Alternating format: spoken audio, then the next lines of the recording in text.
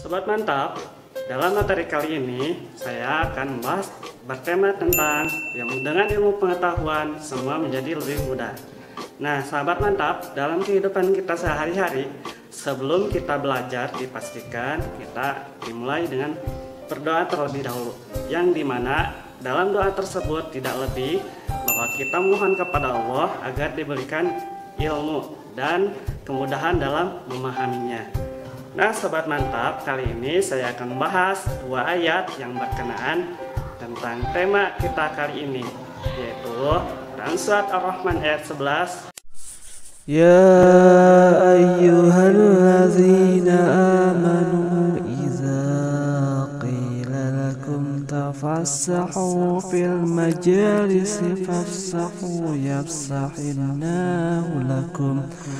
وإذا قيل انشزوا فانشزوا يرفع الله الذين آمنوا منكم والذين أوتوا العلم درجات والله بما تعملون خبير dan Quran surat Al-Mujadalah ayat 33. يا معشر الجن استطعتم أن تنفذوا من أقطار السماوات والأرض فانفذوا لا تنفذون إلا بسلطان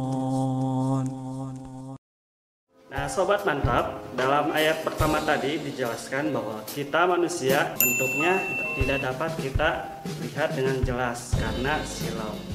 Dan begitupun cara kita melafalkan alif lamnya. Tidak dibaca atau disamarkan atau diidghamkan. Nah, sobat mantap, ternyata cara membaca alif lam itu tergantung dari huruf di depan alif lam tersebut di mana eh, seperti yang telah kita ketahui ada asamsiah dan al komariah ada asamsiah ternyata apabila di depan huruf eh, alif lamnya adalah huruf-huruf samsiah huruf hijaiyah yang termasuk huruf samsiah di antaranya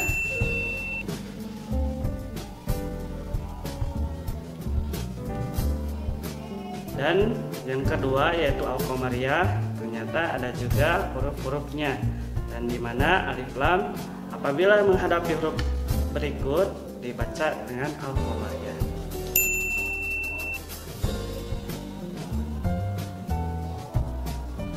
Nah sobat mantap dapat kita ambil contoh ya.